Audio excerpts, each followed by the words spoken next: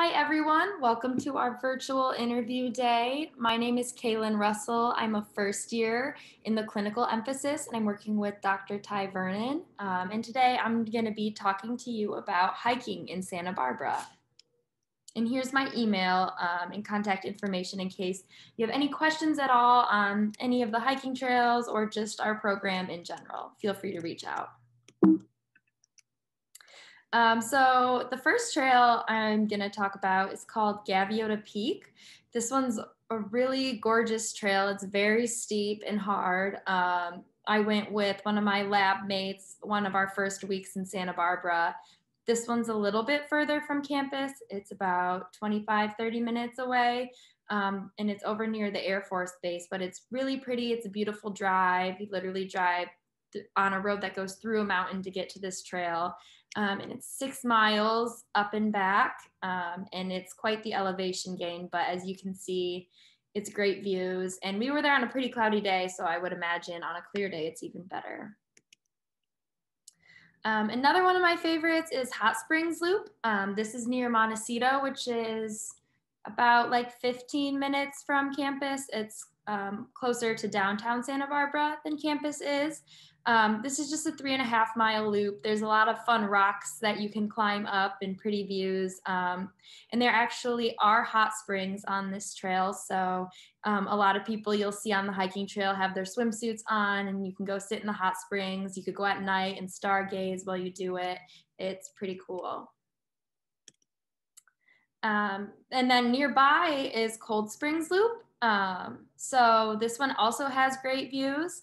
Um, it's just a nice little loop. The elevation's not too bad. It's pretty easy. Um, but on a clear day, you can see basically all the way to, to campus from up here. And this is in Montecito um, as well, near Hot Springs.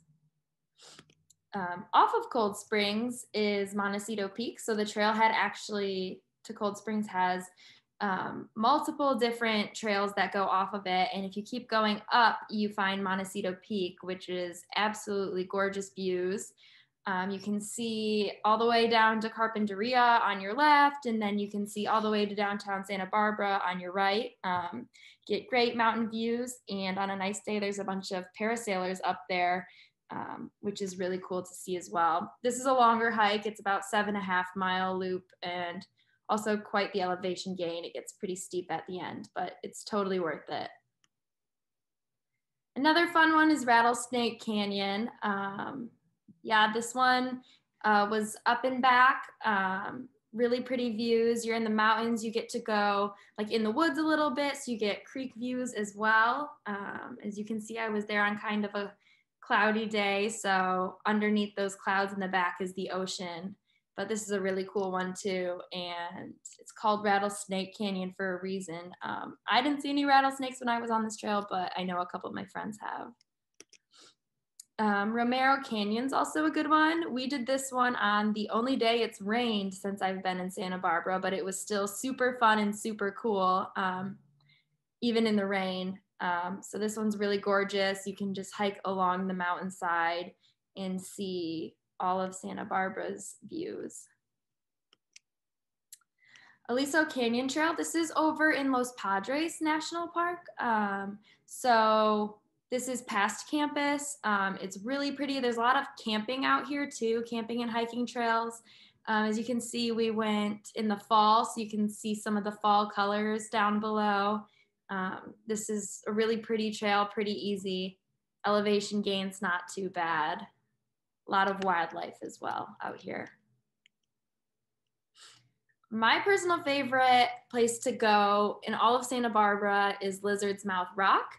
Um, so this isn't so much of a hike, it's more of just a little stroll. You do some like uh, rock hopping to get up there, but it's only like a quarter mile. Um, so you can go in flip flops if you really wanted to and um, bring some drinks and just enjoy the sunset. It's the prettiest sunset view in all of Santa Barbara, in my opinion. So this is a must go when you come to Santa Barbara.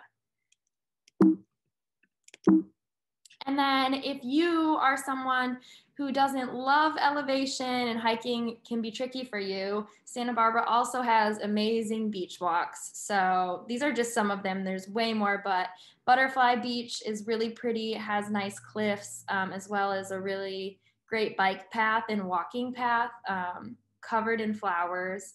The Mesa is a great beach as well. There's a lot of surfers there. Um, campus Point is actually on our campus. There's also a lot of surfing that goes on there and a nice little loop trail that people run and walk on. Um, Miramar Beach is super, super beautiful. It kind of reminds me of Malibu.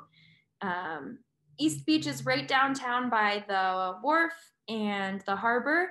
And there's a nice little bike path that goes. Um, sometimes I'll run down there. I can, you can run like, I don't know, I think it goes like up to six miles, but it connects all the way from like Shoreline Park all the way down to Butterfly Beach. So you can go pretty far.